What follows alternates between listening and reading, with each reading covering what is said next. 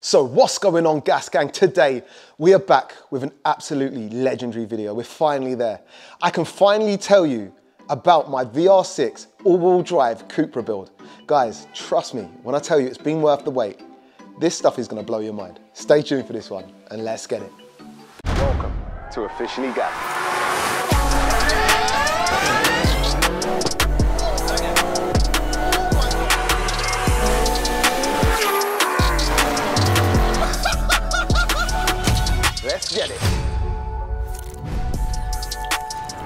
For the best in universal premium ester containing engine oils and fuel additives for both petrol and diesel engines, check the links in the description. So yes guys, as the intro said, today we are back with my all-wheel drive VR6 turbo build and a hell of a lot has changed. Forget what you think you knew, now we're gonna tell you the new spec. But before we get there, I think a quick recap is in order. Let's talk about it. So my mighty Seat Leon Cupra 290 started life on the channel, bone stock, near on three years ago now, to take the role as my new daily. However, as usual, things escalated quickly. The first stop was to the wizard Littco Ben at Devil Developments to get more power. We then set out about building something special out of its EA 888.3 2 litre turbo power plant with the sights on building a fast car. Whilst the new engine build took place, on a random drive off camera, disaster happened. Due to a PCV and catch can issue, I cracked a piston and lost an engine. But luckily, it happened just in time for the built engine to drop straight in. With a freshly forged engine and that Littco magic, the car made a spicy 606 brake horsepower from its little 2 litre turbo engine, and we set about having some fun in the car. Whilst having the car run at that crazy power level, we managed to break the record for the world's fastest Mark III manual Seat Leon Cupra, running 100 to 200 kph in just 5.85 seconds. A record that to this day, two years later, is still yet to be beaten. And after pretty much completing the Cupra game, me and the wizard decided it was time to take things to the next level. And an idea of a VR6 Turbo Cupra was born. Myself and non car guy James then went on and picked up a lovely little 3.2 litre VR6 Audi A3 ready for the insane transplant. And then, silence. Almost two years of no updates or mentions of the build, everyone thought we'd given up. But when I promise I'm going to do something, I make it happen. And today, we share with you the new spec and crazy update you've been waiting for.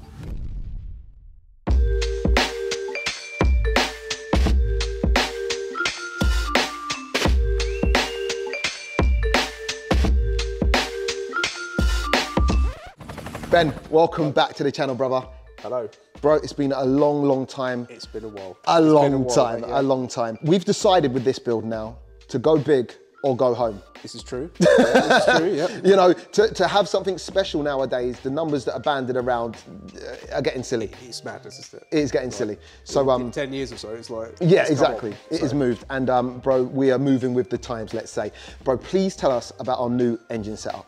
So we were going to use the 3.2 to the R32, Mm-hmm. um, but because of the power level we want to reach, we need as much displacement as possible. Yeah. So we have an R36 Passat engine. it's got a, different uh, V angle to the R32 as well. That's good to go. And it's obviously been decked as well. Yep. This has been drilled out for bigger head studs. And that's uh, Gravitune special custom bolt. Yeah, they're a, they're a very hard material. Yep. Um, again, because of what we want to run, Yep.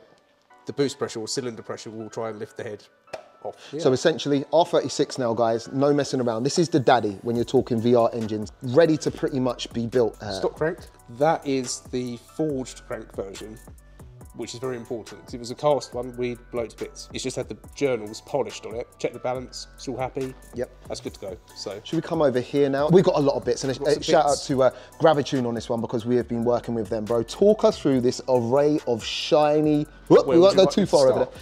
Wherever you like, sir. every engine you build, doesn't matter what it is, always new factory genuine oil pump. This is actually obsolete now, but we found one on eBay. We There you go. There you go. Main bearings, these are just ACL race bearings. We're going to plastic gauge them and check the clearance. Yep. Again with the rod bearings, they're coated. Yep. Factory thrust washers, forged pistons. Come on. Um, they are DP pistons, Okay. very thick around here, a little bit heavier um, than most, but again because of the you know the power we want to run needed. Yep. Very funny design. Yeah, you can Because see you've got a. V engine with a flat head, Yep. so you actually have to have an angled piston. It's very odd. They are tool steel pins, thick walled. Yep. That's a normal forged piston pin. Yep. That's because the sort of power Mm-hmm. you can actually snap the pin. Forged rods. Okay. It's I-beam rod, not drilled, Okay. um, because we want to keep the oil pressure as high as we can. Yep. So obviously DP bolts there as well. Got ya. Uh, we've got the gravituned uh, girdle. The idea being that you run a girdle, so you're essentially bolting the main caps to the outside of the block to stop it flexing. Got you. A lot stronger. So once it starts to flex, it will break. okay. Cool. Um, cylinder head, very different to the R32. The actual port size is huge. Got ya. Obviously, you've got different size ports because one cylinder's there, one cylinder's at the front. Yep. Very strange design.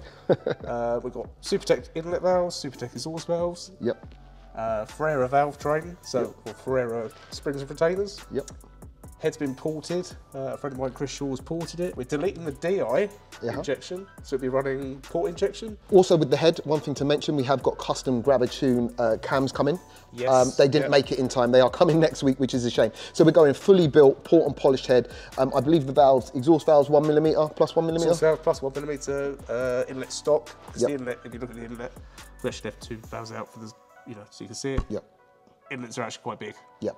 Um, but exhaust valves would actually take plus one one millimeter on the stock seat. It's got 24 new guides in it, Yep. Yep. uh, stem seals, all that sort of stuff. So that's good. ready to go. Should we come over here because we have more bits too? A massive shout out to Gravitune. Honestly, Gravitune have um, they've been a, a massive help. So a massive shout out to Miguel through this. We're working hand in hand with them. Uh, custom intake manny here. Yeah, big pedal, Yep. uh, bigger throttle body. Um, it's only tacked on because no one's put an R36 turbo with full drive and all that stuff Yep, in yep. A, a- you know an MQB chassis. Fuel rail because obviously stock it has DI, so that's not there. Yep. Pretty much ready to go. Um, also, bro, you did mention four-wheel drive. Now, um, I'll cut to some shots of it. Um, you've already done the four-wheel drive Yeah, setup on it. Pretty much box straight in, got the whole, so it's the fuel tank and the like the whole rear end basically. Uh-huh. New brake lines, things like that. Mm-hmm. That's it. So guys, it is four-wheel drive. Yes, the car is still four-wheel drive, obviously, because we need to put this power to the ground. Now we have a, uh, a piece of artwork here, in fact, in two different, massive shout out once again to Gravitune, because this is the exhaust manifold for the R36 from Gravitune, but you see it's looking very, very shiny in its Thermo Met protection. Guys, you might have heard me mention Thermo Met before. It's a company I've worked with, in fact, on most of my builds, because when it comes to heat management, they are the best in the game.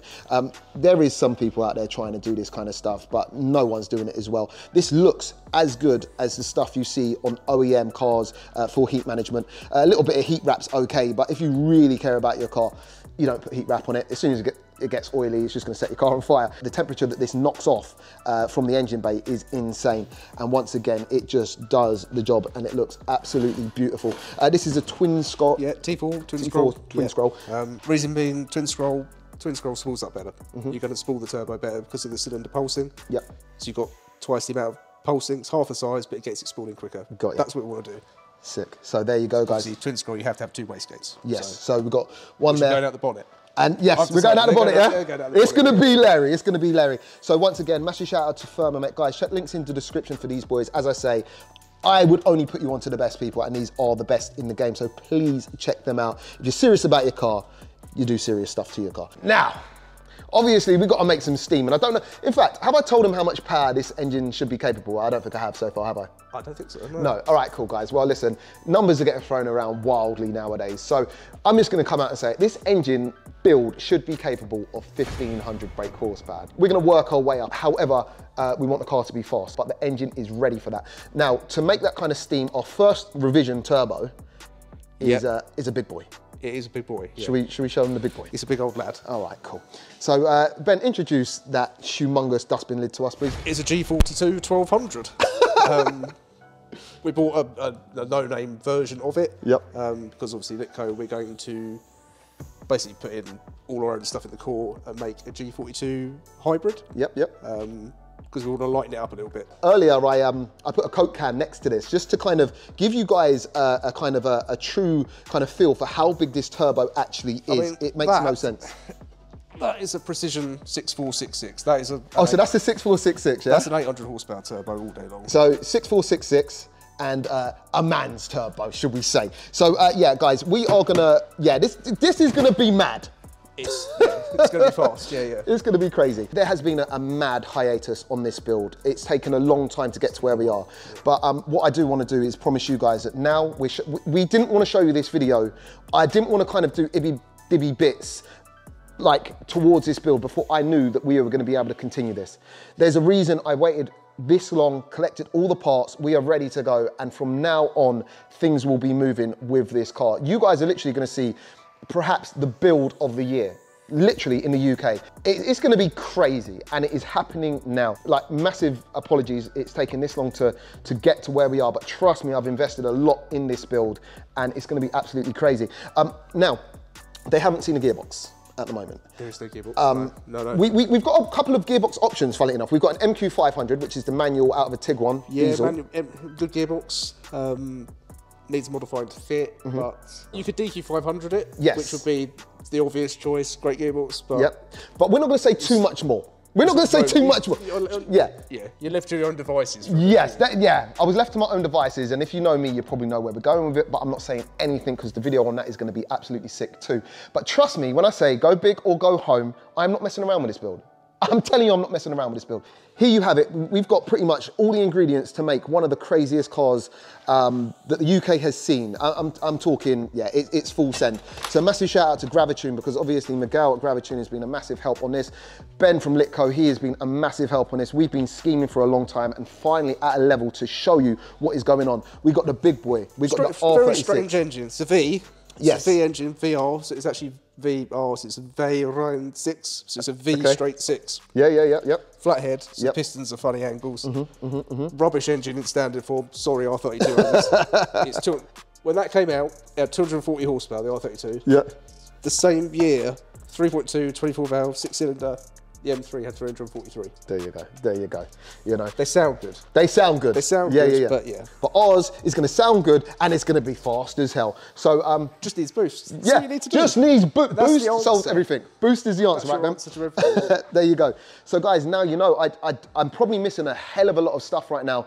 Um, but once again, a massive shout out to Gravitune, um, uh, Thermo Met, uh, you know, Littco. It's going to be a madness, and we are about to get this popping right now. It's been a long time since I saw the car. The car, don't get me wrong, it's been sitting in a corner. It was all dusty, but right now we gave her a nice clean up, and she's ready to go. A big empty space where the belly of the beast used to be. And also, what I will say is, Near on two years ago, we set out to build this. This was the fastest manual Cupra Mark III in the world. I still don't think anyone's beat that. Has anyone beat that? I haven't seen anyone. I, don't, I still don't, know. think anyone's beat that. 100 to 200 times this ran. Um, and we're just about to completely kill the Cupra game. It's, it's a crazy one because no one would let me forget about this build. Not that I ever wanted to. I still, in every video, in, in every Instagram post, there's always someone asking what happened to the Cupra build. Well, now you know. It's full send, strapping because it's going to get crazy. But it's worth mentioning as well the Syvecs that we had on it. Oh, will yes. Run, we'll run that. Syvecs management again. We'll run that again, Yes. yeah. Ben, once again, I'll spudge out and say thank you, man. Um, we are really going to do this big time and we are ready to go. So, yeah, guys, this one has been a long, techie one, but you know, hopefully it's been worth the wait. As I say, go big or go home.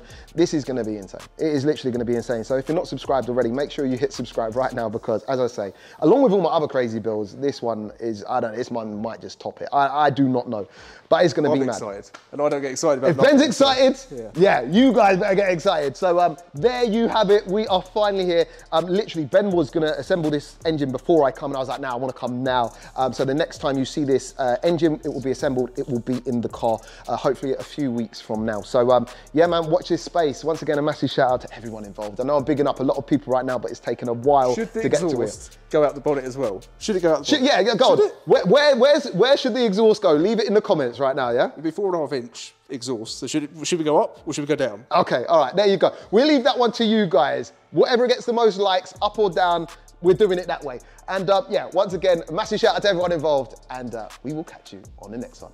Peace out.